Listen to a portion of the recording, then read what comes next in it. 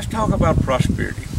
There are three words that have helped me probably more than any other three words. And these words are attributed to Einstein, and if he didn't say them, he should have. The words are energy follows thought.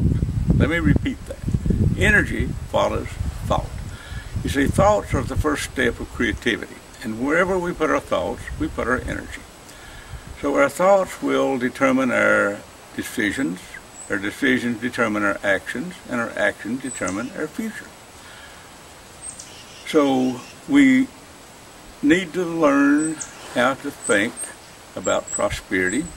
And the best way to do that is to start eliminating our thoughts and words that keep it away. So let's examine uh, some of the thoughts that people have about prosperity. Number one, do you think you deserve it? Have you been taught as a growing up that you deserved it? Or have you been taught that it was elusive and you would probably never find it? You um, admire people who have taken vows of poverty. If so, do you think poverty is a virtue? If so, then do you think prosperity is a sin? Does the Bible verse that indicates something like it is near impossible to enter the kingdom of heaven for a rich person, does this affect you? Uh, stop and think, how do these things really affect your life? Are you jealous of people that have prosperity?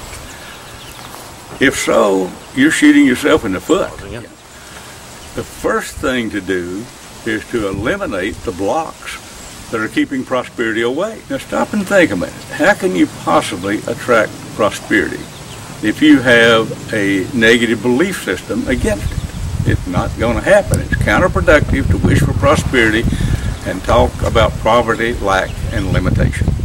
So I would suggest the first thing you do is make a list of the things that you have said over the years or even thought or even those that you've heard people around you say. Such as, if it weren't for bad luck, I wouldn't have any. Every time I save up some money, there is an event that takes it away. And I'm always a day late and a dollar short. If you have those kind of words and phrases in your vocabulary, it's no wonder you have a hard time attracting prosperity.